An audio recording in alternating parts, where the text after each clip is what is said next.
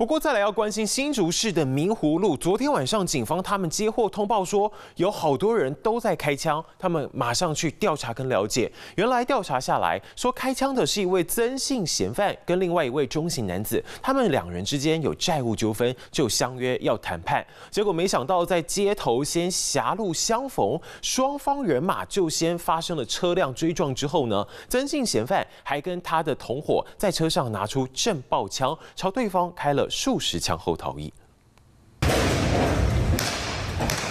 夜晚突然传出阵阵枪响，更夸张的是出现多名黑衣男子。他们从白色轿车下来之后，看起来非常激动，拿着手枪不断向前，子弹一发接着一发，没有停过。大群同伙紧跟在后，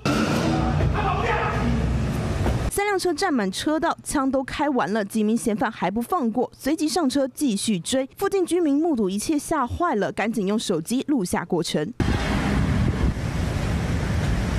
弹留在地上，警方接获报案后，回到事发现场捡起弹壳，并调阅周边监视器。事发在二十号晚间六点多，曾姓嫌犯和中姓被害人有债务纠纷，双方相约见面谈判，在新竹市明湖路狭路相逢，两车先是发生冲撞，曾姓嫌犯和五个同伙随即上车，拿出震爆枪朝对方车辆开枪，接着开车逃逸，非常嚣张。起获涉案长短震爆枪共三把，全案一妨害秩序罪嫌。移送台湾新竹地方检察署侦办。警方火速四小时内逮捕嫌犯到案，并起获作案的长短震爆枪共三把，不容恶势力当街开枪危害治安。华新闻苏云宽、庄明宪、陈新慈新竹报道。